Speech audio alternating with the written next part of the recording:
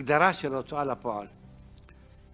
ההוצאה לפועל, אדם חייב לשלם לחברו כסף, לא משלם, לוקחים לו את הרכב שלו, אומרים לו אנחנו נמכור את הרכב שלך, כמה ששווה הרכב, אנחנו נוריד אחוזים, ניתן את זה לבעל חוב שאתה חייב לו.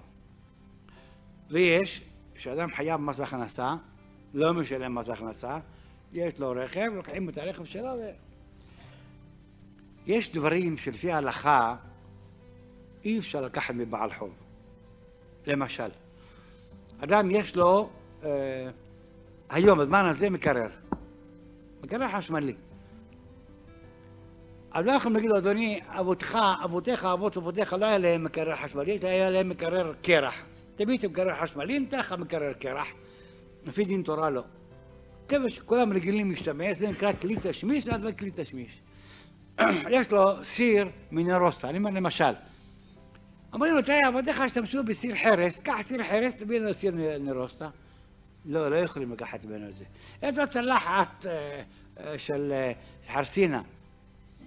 אז אומרים לו, לא, אתה תביא, תיקח צלחת חד פעמית, תאכל, ומזלג חד פעמית, תביא את הסכין שלך ואת המזלג שלך, של... לא, זה לא יכולים לקחת ממנו. הסיר הנוסף שיש לו, אם יש לו צלחות נוספות, אם יש לו סכינים נוספים, זה אפשר לקחת את זה לעקר את זה. אבל דבר שהוא לא כלי שעושים בו אוכל נפש, זה מותר היה לקחת את זה לשלם לבעל חוב. היום כל אדם ואחד יודע שאם ההוצאה לפועל לוקחת, זה הליכה בלי חזרה. לוקחים את זה ולא מחזרים. זה גמרנו, אדם מתייאש מהדבר הזה. לא, לקחו, לקחו.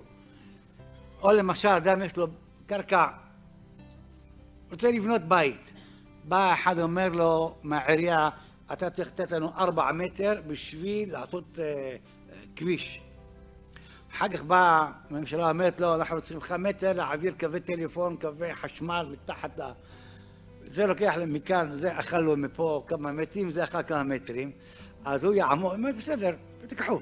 אחרי שיקחו, ייבנה הבניין שלו, יעמוד למטה עם שלט. גזל, ארבע מאות אלה שלי, תעברו, זה עירייה לקחה לי אותם, אל תעברו. מי ישמע בקולו, הם ילכו.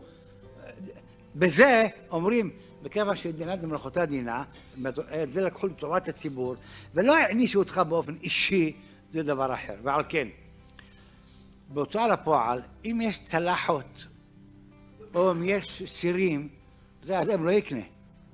ואדם מסכן, אולי לקחו לו את זה שלא כדין. אבל אם יש מכונית, או אופניים, או שאר דברים שלפי ההלכה אפשר לעכל, מכיוון שזה נקרא כמו שאדם מפקיר את זה, אז לכן מותר לקנות בהוצאה לפועל. אבל, כבר אירע לנו פעם, בא יהודי שאל אותי שאלה פשוטה, אמר לי, תראה, יש בהוצאה לפועל מכונית, אני רוצה לקנות אותה, בזיר הזול, בהוצאה לפועל, אני יכול לקנות. אמרתי לו, רציתי להגיד לו, כן, מותר לך לקנות. יצא מהפה שלי, לא. ואני אמרתי לו, מה זה לא? מותר. אני אומר, מותר עכשיו. אמרתי לו, חכה רגע, טעיתי. אבל ביני ביני התחלתי לחשוב למה טעיתי. אמרתי לו, תשמע, אולי זה אחד מהקרובים שלך, אולי אחד מהשכנים שלך, האוטו שלו. תראה את המספר. איזה מספר של השכן שלך, אל תקנה. זה שאמרתי לך לא, זה של השכן. למה? אתה תקנה ותעבור על ידו והוא יראה שור אחד תבוח לעיניך, לא תאכל ממנו, אחרי לוקח אותו, כל יום יקלל אותך. אל תקנה, מותר, אבל לא תקנה את הדבר הזה כאילו.